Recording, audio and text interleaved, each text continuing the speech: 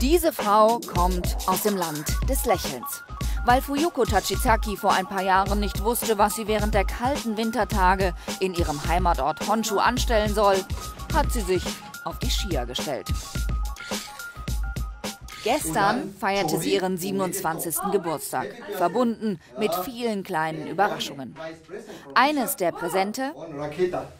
Eine Rakete, also schnelle Ski. So mega schnell war sie vergangene Woche im Massenstart noch nicht unterwegs, aber treffsicher. Der Lohn, ihre beste Weltcup-Platzierung, Rang 10. Michael Grossecker, Mitarbeiter einer Skifirma und ein guter Freund von Fuyuko, weiß um ihr Erfolgsrezept. Ich glaube, das war das Essen meiner Frau während der Weihnachtstage. Grosseckers Frau, ebenfalls eine Japanerin, hat Fuyuko mit heimischem Essen verwöhnt. Ja, ja, yummy, yummy. Ja, das war sehr lecker. Seit Mai ist Fuyuko mit Herrn Tachizaki verheiratet, ebenfalls ein Biathlet. Allerdings nicht so erfolgreich wie seine Ehefrau.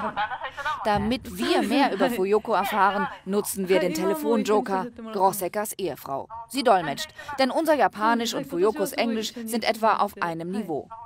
Wir erfahren, dass Fuyuko die Strecken von Ruhpolding mag und kein Heimweh hat, auch wenn sie 49 Wochen im Jahr unterwegs ist. Schließlich ist ihr Liebster ihr ständiger Begleiter.